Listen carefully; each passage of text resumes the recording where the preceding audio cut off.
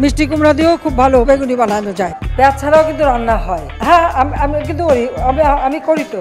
মাংসের পরিবর্তে এখন কাঁঠাল। কাঁঠালের কাবাব হয় কাঁঠালের বার্গার হয়। যখন ডিম বেশি পাবেন সিদ্ধ করে ফ্রিজে রেখে দেবেন বহুদিন থাকবে।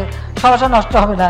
কাঁচামরিচের দাম বাড়লে সবাই চিৎকার করে। তো আমি সবাইকে আহ্বান করব এখন থেকে কাঁচামরিচ কিনে রোদে শুকায় রেখে দেন। বর্ষাকালে যখন দাম বাড়বে ওটা ওই ওটা কিছু একটু পানিতে রাখলেই কিন্তু আবার তাজা হয়ে যায়। মাছের কাটা একটা সমস্যা অনেকে মাছ খেতে চায় না। এই কাটাও কিন্তু নরম করে ফেলা যায় এবং খাওয়া যায়। মিষ্টি কুমড়া দিয়েও খুব ভালো বেগুনি বানানো যায়। সেভাবে আমরা করি, সেভাবে করা যায়। বেগুনের দাম এই রোজার সময় সবাই বেগুনি খাবে। হঠাৎ একশো দশ টাকার উপরে বেগুন হয়ে গেল। সেটা এখন কমে আশি টাকা এসেছে। তো বেগুন দিয়ে বেগুনি না খেয়ে আরও যে সবজি সহজলভ্য আছে, সেটা দিয়ে খেলেই হয়, আমরা তাই খাই। মিষ্টি কুমড়া দিয়েও খুব ভালো বেগুনি না বানায়, মিষ্টি কুমড়া দিয়েও বেগুনি বানানো যায়। সেভাবে আমরা করি, সেভাবে করা যায়। পেঁয়াজ ছাড়াও কিন্তু রান্না হয়। হ্যাঁ আমি আমি কিন্তু করি, আমি আমি করি তো, আমাদের বাসায় করে। আমরা কিন্তু পেঁয়াজ ছাড়াও রান্না করি। অনেক তরকারি আছে যা পেঁয়াজ ছাড়াই করা যায়, করা হয়। এটা কোনো এমন এই- পেঁয়াজ নিয়ে এত মানে অস্থির হয়ে পড়ার কি আছে আমি তো জানি না। হয়তো বেশি জায়গায় একটু কম দিয়ে খেতে হতে পারে, এই তো। কিন্তু বাইরে কিন্তু পেঁয়াজের দাম, অন্যান্য অনেক বেশি কিন্তু দাম। তো যাক এটা থাকবে না একটা সমস্যা মানে মোটামুটি পেঁয়াজ চলে আসতেছে। ওই দু চার, কয়েকদিনের মধ্যেই প্রায় দশ হাজার মেট্রিক টন এসে ঢুকবে, তারপরেই আরও পঞ্চাশ হাজার চলে আসবে, কাজে এটা নিয়ে চিন্তার কিছু নেই। আর যারা এখন জমা মজুদ করছে তারা কতদিন ধরে রাখতে পারবে সেটাই কথা। পেঁয়াজ কিন্তু পচে যায় আমার বেশি রাখতে যে সরকারকে বেকারে ফেলতে যে তাদের লোকসানই হবে, লাভ হবে না। আর এখন মাছের কাটা একটা সমস্যা, অনেকে মাছ খেতে চায় না, কিন্তু প্রক্রিয়াজাত করলে পরে কিন্তু এই কাটাও কিন্তু নরম করে ফেলা যায় এবং খাওয়া যায়। এবং সেটা খুব বেশি কঠিন না, এমনকি ঘরে ঘরেও করতে পারেন। আপনারা যদি প্রেশার কুকারে মাছ এক ঘণ্টা দশ মিনিট সিদ্ধ করেন, মাছের কিন্তু কাটা নরম হয়ে যায়। মাছ মাছের মতনই থাকবে, কিন্তু কাটা নরম হয়ে যাবে। এবং আপনারা সেটা বাচ্চাদেরও খাওয়াতে পারবেন, এতে কোনো অসুবিধা হয় না। কাজে আমরা কিন্তু এটা করি, একটু রেসিপিও দিয়ে দিলাম সাথে, যাতে আপনাদের ঘরে কাটা, কাটার সমস্যাটা না থাকে। কারণ বিশেষ করে ইলিশ মাছ একটু বেশি সময় লাগে, সমুদ্রের মাছ, আর অন্য মাছ আরও কম সময় হয়ে যায়। তো সে, আর আমি বলছি এটা যে এটা হলো ঘরে, কিন্তু আমরা কিন্তু এই ধরনের ইন্ডাস্ট্রি যদি তৈরি করি, এবং যে প্রেশার দিয়ে মাছের কাটাগুলি নরম থাকবে, কিন্তু মাছ যেমন আছে তেমনই থাকবে দেখতে। ঠিক সেইভাবে যদি আমরা টিনজাত করতে পারি, প্রক্রিয়াজাত করতে পারি, এবং দেশে বিদেশে রপ্তানি করতে পারি, পৃথিবীর বহু দেশ এই মাছ কিন্তু নেবে। আবার ডিম নিয়ে শুরু করল। কিন্তু ঠিক আছে, এরপরে যখন ডিম বেশি পাবেন, সিদ্ধ করে ফ্রিজে রেখে দেবেন, বহুদিন থাকবে। সমস্যা নষ্ট হবে না। সব কিছু বিকল্প ব্যবস্থা আছে। ডিম সিদ্ধ করে আপনি যদি জিপলগে করে ডিপেও রেখে দেন, ডিম ভালো থাকে অনেক দিন রান্না করার সময় আরামে রান্না করে খাওয়া যায়, ভর্তা করেও খাওয়া যায়। আমরা রাখি, খাই, দেখে বলি আর কি। এগুলো তো এগুলো তো নিজের থেকে শেখা। আর পেঁয়াজ টিয়াজ তো আছে এখন তো পেঁয়াজের শুকনা পেঁয়াজ এসে বাজারে সেটারও ব্যবস্থা করা হচ্ছে। অনেকেই কিন্তু মাংস খেতে চায় না।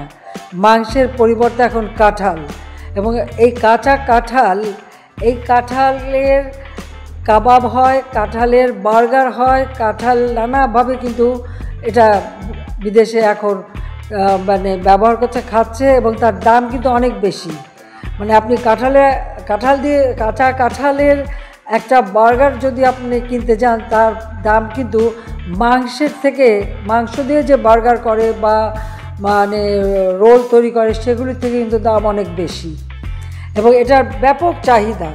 তা আমরা যদি এই বারো মাসই কাঁঠাল উৎপাদন করতে পারি, আমরা আর সেই সাথে সাথে এরকম কাঁঠালের বিভিন্ন পণ্য যেগুলি মানে বর্তমান যুগে আমাদের দেশেও তো ছেলেমেয়েরা এখন মানে আর ভাত টাত থেকে তৈরি বার্গার বিশেষ করে একটু উচ্চবিত্ত যারা, তাদের হয়তো বার্গার অথবা রোল এটা সেটা খেতেই বেশি পছন্দ করে।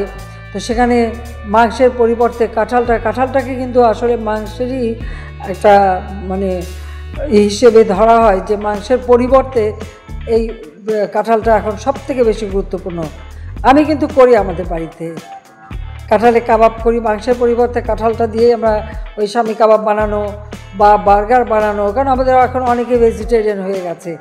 মাছ খায় কিন্তু মাংস খায় না। তো তাদের জন্য বিকল্প কাঁঠাল। তো এখন যেটা করতে হয় যে যখন কাঁঠালের সিজন আসে, কাঁচা কাঁঠাল একটু হলুদ দিয়ে সিদ্ধ করে ডিপ ফ্রিজে রেখে দিয়ে বারো মাস ব্যবহার করি। কিন্তু বারো মাসে কাঁঠাল যদি হয় সেটা বারো মাসে ব্যবহার করা যাবে এবং অত্যন্ত পুষ্টিকর খাবার। কারণ আমি জানি আমাদের গ্রাম দেশে ওই কাঁঠালের সময় ওই মুড়ি আর কাঁঠাল দিয়েই কিন্তু মানুষ দুপুরে খাবার খেত। হয়তো ভাত খেত না, ভাত রান্না করতো না। আর এখন ভাত আমরা বেশি চাল উৎপাদন হয়েছে, এখন আস্তে আস্তে এগুলি ভুলে গেছে। কারণ কাঁঠাল এমনটা জিনিস, তার কিছুই ফেলা যায় না। পাতা ছাগলে খায়, ছাগলের খাদ্য, গাছ দিয়ে ফার্নিচার হয়, আবার কাঁঠালের ভিতরের ইঁচড় তো আমরা খাই, আবার কাঁঠালের ঠিকলাটা গরুর খাবার সব থেকে পুষ্টিকর খাবার, আবার পাকা কাঁঠাল সেটাও আমরা খাই, আবার সে পাকা কাঁঠালের বিচিটা সেটাও ভর্তা করে খেলে বা মুরগি দিয়ে রান্না করলে তাও মজা লাগে।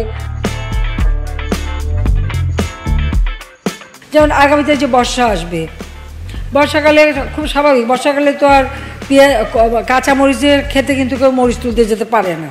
কাঁচামরিচের দাম বাড়লে সবাই চিৎকার করে। তো আমি সবাইকে আহ্বান করব এখন থেকে কাঁচামরিচ কিনে রোদে শুকায় রেখে দেন। বর্ষাকালে যখন দাম বাড়বে ওই, ওটা কিছু একটু পানিতে রাখলে কিন্তু আবার তাজা হয়ে যায়, আবার রান্না করে খাওয়া যায়। সহজ বুদ্ধি। আমি তো এটাই বলি, যেগুলি শুকান, শুকায় শুকায় রেখে দেন। টমেটো, অতিরিক্ত টমেটো হয়েছে বলছে, কী করব? আমরা রোদে শুকায় রেখে দেন। সান ড্রাই টমেটো তো খুব মানে বিদেশে ভীষণভাবে এটা চলে। তা আমরাও সব কিছু করব। পেঁয়াজেরও তাই, যখন উৎপাদন বেড়েছে ফলে পেঁয়াজ সংরক্ষণের ব্যবস্থা। এবং আমরা আরেকটা উদ্যোগ নিচ্ছি যে আমাদের প্রতিটি ক্ষেত্রে যে উৎপাদন হবে, সেটাকে একটু দীর্ঘদিনের জন্য সংরক্ষণ করার জন্য আমরা বিশেষ উদ্যোগ নিচ্ছি। নিজের ছাদের উপরে বা ঘরে একটা কাঁচামরিচ গাছ যদি লাগান, যেমন আমার কাঁচামরিচ গাছ, আমি যে গাড়ি বাঁধা ছাদের উপরে, আজকে দেখলাম খুব সুন্দর ফুল আসছে। তাহলে মানে বসে আস্তে আস্তে আমার কাঁচামরিচ হবে, আমার তো কাঁচামরিচ কিনতে লাগবে না কিন্তু ছেড়ে ছেড়ে খেতে পারব। সেরকম যদি সবাই করে, তাহলে তার কষ্ট থাকে না।